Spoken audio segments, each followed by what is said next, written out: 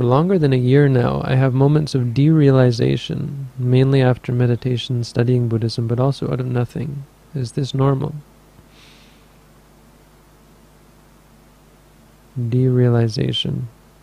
Um, I'm going to to make a shot in the dark and guess at what you're you're saying there.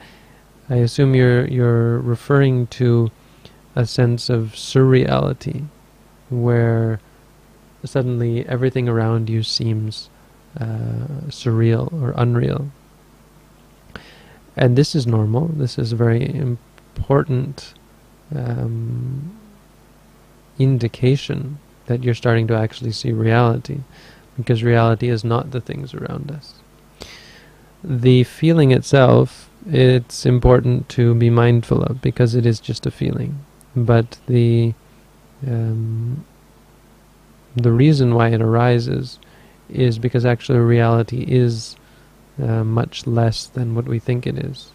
There really isn't this room that I'm sitting in with all these books, and you know, you're really not hearing my voice. You're, it's just experience. There is just the seeing, there is just the hearing, there is just the smelling, the tasting, the feeling, and thinking. So when we get this glimpse, suddenly everything around us, it can actually be quite frightening. People become quite disturbed by this at times, and suddenly they look at everything they look at seems seems scary and and and hor horrifying because of the. Um,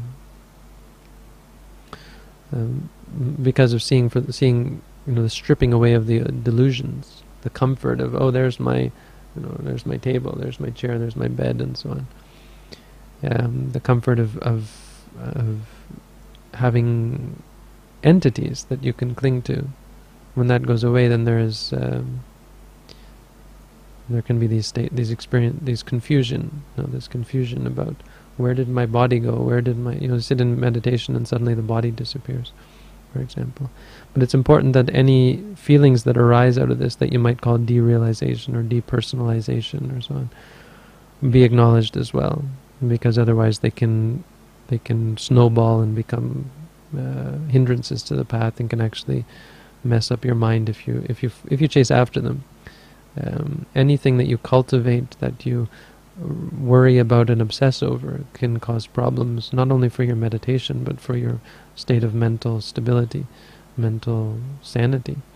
So meditation is not dangerous, but um, when you stop meditating, when a state arises that makes you give up your meditation practice, that's dangerous. So once these states arise, they're actually harmless. But because you turn them into a problem, you say it's a problem, it's a problem every time it comes up, you get more and more agitated about it, and that agitation, that stress, drives you crazy. It's like winding up a clock until you break it. Um, so when you have this experience, don't be worried about it. Acknowledge the worry, acknowledge the confusion, the doubt, and and then acknowledge the state itself, and be aware of the state just for what it is. It's just a state of fe- a feeling. You can just say feeling, feeling, or so.